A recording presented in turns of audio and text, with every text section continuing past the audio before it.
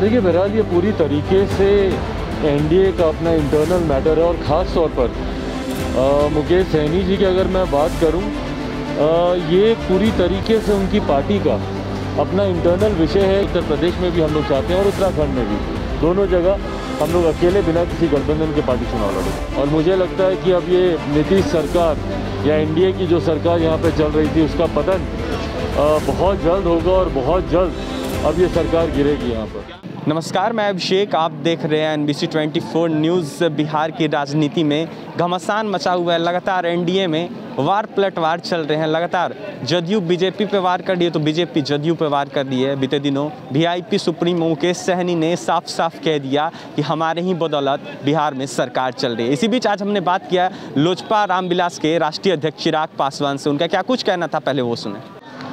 देखिए बहरहाल, ये पूरी तरीके से एनडीए का अपना इंटरनल मैटर है और ख़ास तौर पर मुकेश सैनी जी की अगर मैं बात करूँ अ, ये पूरी तरीके से उनकी पार्टी का अपना इंटरनल विषय है कि वो कहाँ पे चुनाव लड़ना चाहते हैं नहीं लड़ना चाहते हैं गठबंधन में उनकी क्या बातचीत हुई है नहीं बातचीत हुई है।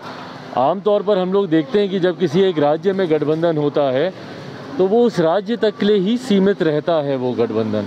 और बाकी राज्यों में आपके पास स्वतंत्रता होती है, अगर आप लड़ना चाहते हैं, आप लड़ सकते हैं। बट बहरहाल, ये वन टू वन इक्वेशन पर डिपेंड करता है। मुझे नहीं पता कि गठबंधन के वक्त मुकेश सैनी जी या उनकी पार्टी की क्या बातचीत हुई थी, भारतीय जनता पार्टी से क्या बातचीत नहीं हुई थी। बट हाँ जिस तरीके से दरारें खुल के सामने आ रही हैं, भारतीय जनता पार्टी की तरफ़ से बहुत कुछ कहा जा रहा है। मुकेश सैनी जी अपने स्टैंड पे मजबूती से वो कायम है।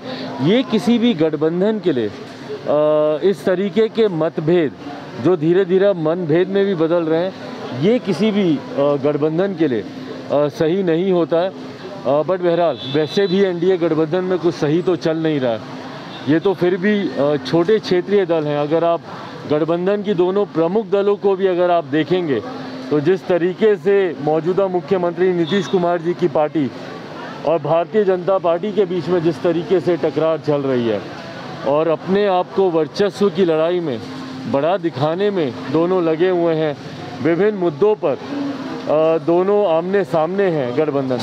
तो ये बात मैं बहुत पहले भी कह चुका था। थोड़ा सा इशू था क्योंकि जो पार्टी का ओरिजिनल सिंबल है उसको चुनाव आयोग के द्वारा मतभेद की वजह से उसको फ्रीज कर दिया गया था।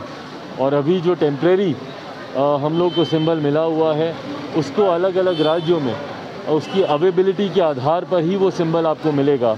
उत्तर प्रदेश में मौजूदा सिंबल उपलब्ध ना होने के कारण नए सिंबल को लेकर चर्चा चल रही थी, पर मुझे खुशी है इस बात की कि पार्टी का नाम लोक जनशक्ति पार्टी रामविलास, जिसके लिए हम लोगों ने सबसे ज़्यादा प्रयास किया था तो नाम हम लोग के पास रहना चाहिए। मुझे खुशी है कि उसी नाम के साथ, लोक जनशक्ति पार्टी रामविलास के नाम के साथ ही उत्तर प्रदेश में हमारी पार्टी चुनाव में उतर रही है वहाँ गठबंधन भी करेंगे किसी के साथ नहीं वहाँ पे भी चुनाव पार्टी पूरी तरीके से अकेले लड़ रही है। पार्टी की वही सोच है कि पहले अपने जनाधार को हम लोग कंसोलिडेट करना चाहते हैं पार्टी को हम लोग मजबूती देना चाहते हैं। गठबंधन में आपकी सीटें बहुत सीमित हो जाती हैं। तो जिस तरीके से हम लोग पार्टी का विस्तार चाहते हैं कि उत्तर प्रदेश बिहार में जैसे अकेले चुनाव लड़कर पहली बार था कि लोक जनशक्ति पार्टी ने एक सौ सैंतीस सीटों पर चुनाव लड़ा जिसकी वजह से पार्टी घर घर, गाँव गाँव तक पहुँचने में, पार्टी के विचारों को पहुँचने में मदद मिली। उसी तरीके से उत्तर प्रदेश में भी हम लोग चाहते हैं और उत्तराखंड में भी।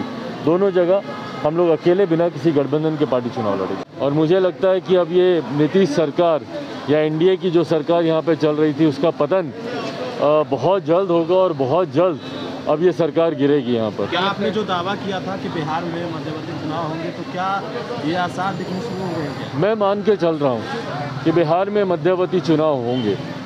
कोरोना की वजह से जो यात्रा मुख्यमंत्री जी की, जिस तथाकथित, मैं इसको तथाकथित ही बोलूँगा समाज सुधार, क्योंकि मैं नहीं मानता कि बिहारियों को सुधारने के लिए मुख्यमंत्री जी को ऐसी किसी यात्रा पर निकलने की ज़रूरत है। बट बहरहाल, जिस तथाकथित समाज सुधार यात्रा पर मुख्यमंत्री जी निकले थे, ऐसी यात्राओं पर आमूमन वो तभी निकलते हैं जब वो खुद चुनाव की तैयारियों में लगते हैं। वैसे हम लोग मुख्यमंत्री जी को बड़ी से बड़ी घटनाएँ हो जाती हैं। हम लोगों ने आज तक कभी नहीं देखा कि मुख्यमंत्री नीतीश कुमार जी कहीं जाते हों, या किसी परिवार से, पीड़ित परिवार से, जहरीली शराब से। नालंदा में ही कितने लोग मर गए, उनका गृह जिला। पर आज तक हम लोगों ने मुख्यमंत्री को कहीं नहीं देखा कि वो कहीं आए जाएँ। तो वो ऐसी यात्रा पर तभी निकलते हैं जब वो चुनाव की तैयारी में लगे होते हैं। और ये मैं मान के चल रहा हूँ कि मुख्यमंत्री जी कहीं ना कहीं भीतर ही भीतर इस बात को समझ गए हैं कि बिहार में कभी भी सरकार गिर सकती है और उन्होंने अपने आप को ऑलरेडी वो इलेक्शन मोड में आ गए हैं चुनाव की तैयारी में वो लग चुके हैं। तो ने जो बयान दिया उसके बाद बीजेपी के कई नेता कह रहे हैं कि चिराग पासवान को एनडीए में लाना चाहिए मतदान के बाद यादव ने कहा है। देखिए हर उस नेता का मैं धन्यवाद करता हूँ जिन्होंने अपनी भावनाओं को इतने स्पष्ट तरीके से उन्होंने रखा। पर मैं बार बार मैं इस बात को मैं कहता रहा हूँ और मैं बोल रहा हूँ कि फ़िलहाल मेरे लिए मेरी पार्टी, लोक जनशक्ति पार्टी रामविलास को नई मजबूती देना, संगठन के स्तर पर इसको मज़बूत करना, पूरी नई प्रदेश कमेटी हम लोग की तैयार हुई है और नए सिरे से हम लोग संगठन के कार्यों में हम लोग लगे हुए तो अभी आज की तारीख में मेरी पूरी प्राथमिकता पार्टी के विस्तार संगठन को मज़बूत करना। और जैसा मैंने कहा कि गठबंधन की बात तब होगी जब कोई चुनाव आएगा। एमएलसी चुनाव में पार्टी ने पुनः फैसला लिया है कि हम लोग अकेले चुनाव लड़ेंगे। अगर कोई बीच में मध्यावधि चुनाव नहीं होता तो आगामी 24 में जो चुनाव होंगे गठबंधन की चर्चा उस वक्त की जाएगी। यूपी विधानसभा चुनाव में आपकी पार्टी क्या है? सीटों पर आप चुनाव देखिए हम लोग जैसा मैंने पिछली बार भी कहा था अधिकांश सीटों पर हम लोग चुनाव लड़ेंगे। पहले और दूसरे फ़ेज़ के कुछ प्रत्याशियों की सूची जारी कर दी गई है। सिंबल को लेकर थोड़ा सा इशू था क्योंकि जो पार्टी का ओरिजिनल सिंबल है अ, उसको अ, चुनाव आयोग के द्वारा मतभेद की वजह से उसको फ्रीज कर दिया गया था।